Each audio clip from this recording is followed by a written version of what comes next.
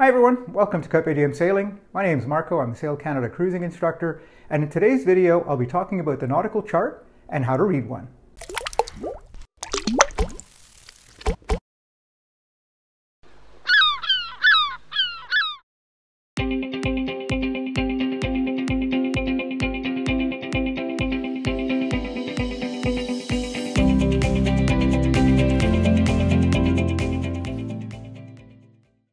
Welcome to episode 30, the nautical chart. This video will be an introduction to nautical charts and how to read them.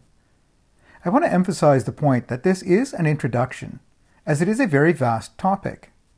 Also, this video will best be viewed on a larger screen. Many of the details on a chart are just too small to see properly on a small screen. I will be covering the following information found on the chart. The title block, the scale. The projection, which is how a round sphere is interpreted on a flat surface. Depths and elevations as they relate to tide tables. Symbols, abbreviations, and terms, including depths or soundings as they're correctly called. What the different colors mean. The compass rose. And finally, I will touch on digital charts. Plotting will be the subject of a future video. Let's start with the title block. At the top of the title block, you will usually find the logo of the agency responsible for producing the chart. In Canada, this is the Canadian Hydrographic Service. In the US, it's NOAA's Office of Coast Survey, and in the UK, the Hydrographic Office produces Admiralty charts. Working your way down the title block, the next thing you come to is the title which is self-explanatory, so I will not say any more about that. Then we have the scale of the chart, which is essentially the ratio of a distance on the chart to the corresponding distance on the ground or water. In this example, the scale is 1 to 25,000. The closer to life size, 1 to 1, the larger the scale. So 1 to 10,000 is considered large scale compared to 1 to 80,000, even though 1 to 10,000 is the smaller number. Another way to look at it is that large-scale charts zoom in, so details are larger. Small-scale charts cover large areas and are used for planning purposes or navigating in open water. Large-scale charts are used when more information is needed, such as when approaching land or cruising inshore. The closer to land and the more congested the navigational area, the larger the scale of the chart being used should be. In this example, a distance scale is printed in the title block. That is not always the case. If there is no distance scale, or if the distance scale is not conveniently at hand, distance is measured using the latitude scale on the sides of the chart. One minute of latitude equals one nautical mile. It is extremely important to only use the latitude scale for measuring distance, since the meridians of longitude get closer together as they approach the poles. One minute of longitude only equals one nautical mile at the equator. Next, we come to the projection of the chart. This is simply the way a round sphere is represented on a flat surface. There are numerous types of projection, but navigational charts are usually Mercator's projection.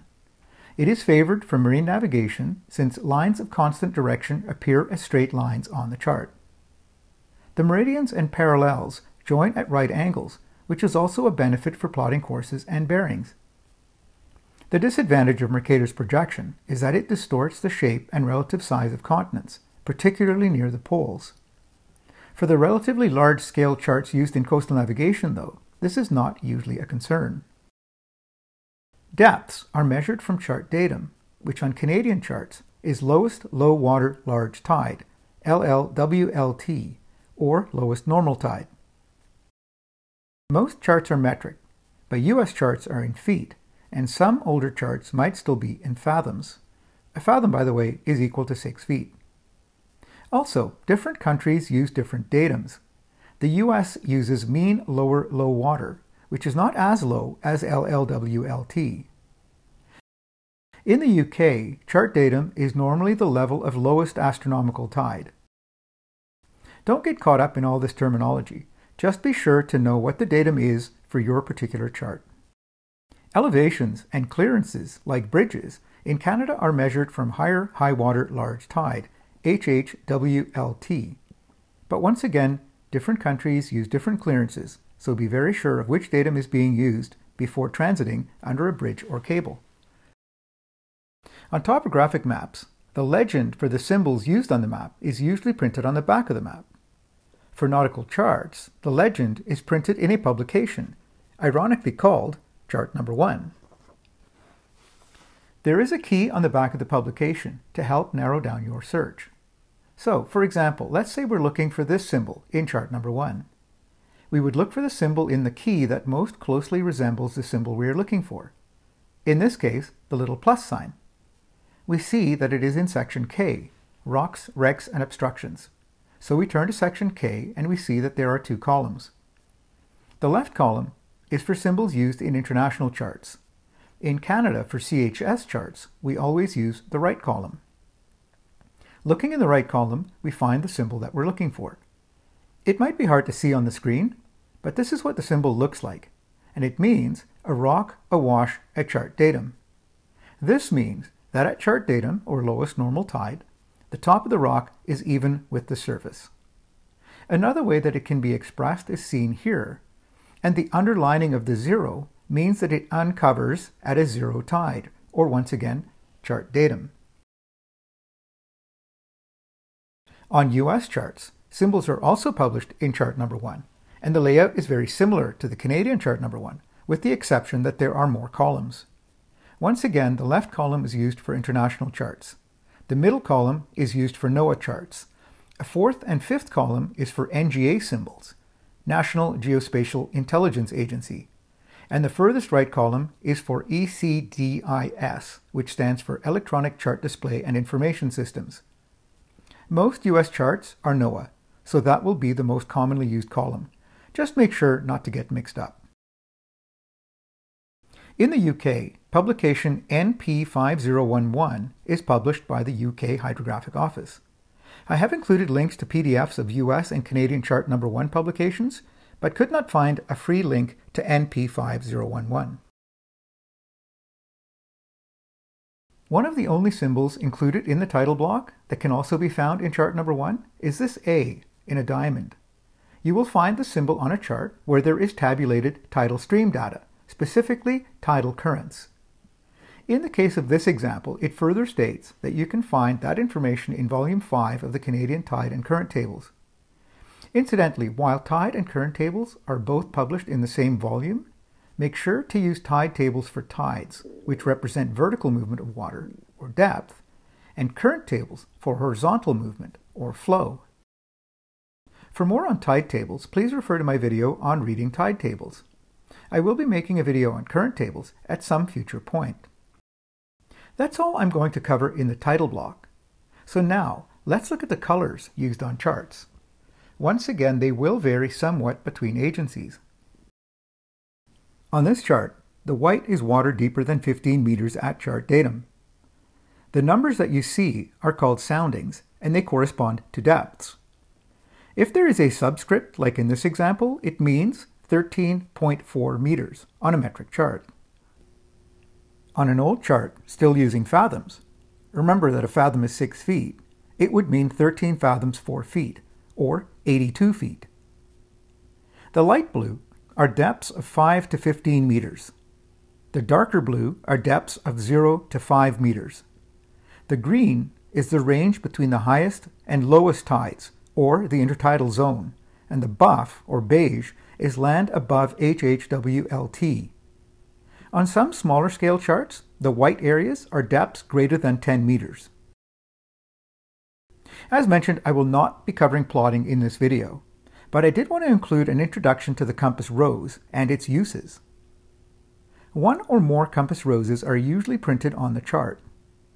The compass rose indicates the direction of true and magnetic north and can be used to determine current magnetic variation if the chart is out of date.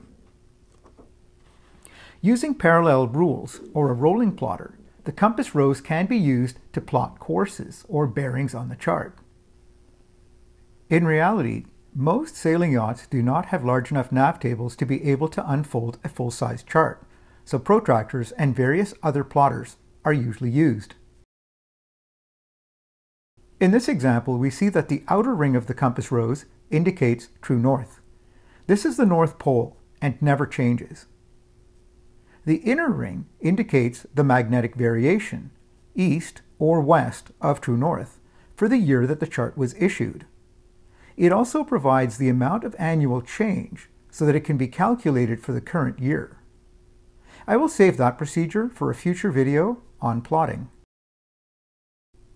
In this day and age, I would be remiss not to include a brief discussion on digital charts. Once again, an in-depth look at digital charts and all the available applications and plotters will be saved for a future video, but I did want to go over a few points. First and foremost, it is my firm belief that you should always back up digital charts and plotters with paper charts and instruments. Not only that, but you should know how to use them, and you should practice regularly. I, for one, have had several occasions where I had to fall back on paper charts for various reasons. I would never put to sea without paper charts. It's just not worth the risk. I personally like iNavX, which I use on an iPad. Navionics is probably the most popular app out there, and I do have it on my phone, but I prefer the sophistication of the iNavX platform. Also, I like using CHS charts, which is what I'm used to, and I do not like the look of the Navionics charts. There are others, but whichever application you choose, make sure you practice with it and understand it before heading out. And don't forget those paper charts. New episodes go up every second Wednesday at 6 p.m. See you next time when I discuss dressing for sailing in fine weather and foul. Thanks for watching. Until then, I wish you all fair winds and following seas.